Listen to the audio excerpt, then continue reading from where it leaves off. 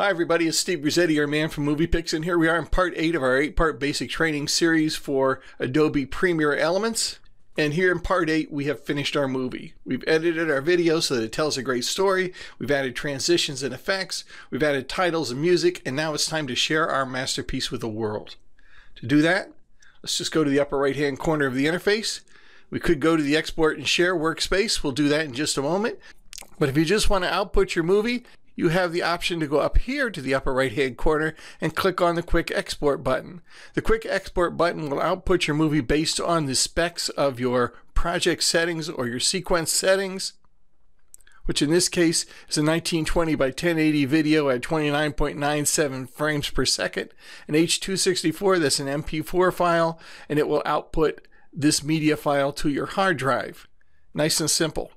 If you'd like a little more control over your output, just go to the upper right hand corner and click on Export and Share and open up the Export and Share workspace.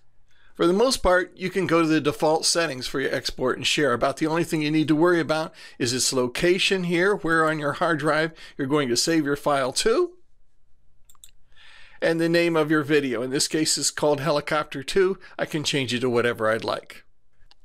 Now by default, export and share will output an MP4 of your video. However, if you go here to the format drop-down menu, you can select any number of formats to output your video as, including Windows media file if you're so inclined. But H264 MP4s are kind of the universal language of video here on the internet, or in video production for that matter. And so you can leave it at H264 for the most part. Likewise, its presets, are based on your source material or on your project settings or your sequence settings. However, you can change those if you'd like. Most cases, just leave it as is. Now, by default, the project is output as an MP4 to your hard drive, but if you look in the upper left-hand corner, you'll see you have a number of other options here. You can output to YouTube, directly to YouTube, so it would skip a step here. You wouldn't have to output a media file and then upload it to YouTube. You can load it directly to the YouTube site. You can upload it to Vimeo, to Facebook, to Instagram, to LinkedIn, or to Pinterest simply by clicking on these little options here.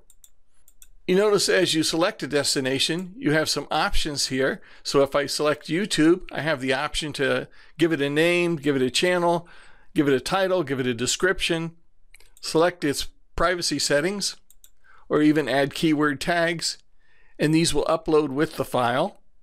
And the very first time you use one of these, you may need to handshake with the file site.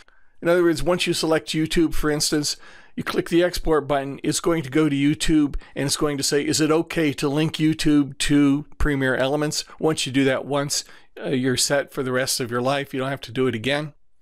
I'm not going to demonstrate that, but it is a very simple process. Just follow the prompts and you'll be just fine. We can turn these all on if we'd like and export to every one of these sites all at the same time, as well as saving a file to our hard drive. But that's really all there is to it. To start the process, just click the export button and it starts building your file for you. And that's really all there is to it.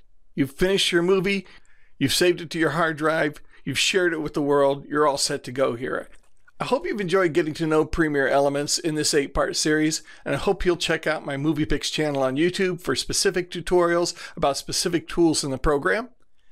And if you want to know everything there is to know about every tool in the program, I hope you'll check out my book, The Muvipix Guide to Adobe Premiere Elements. It's available on Amazon.com. I've got another book on Photoshop Elements if you're interested in that too.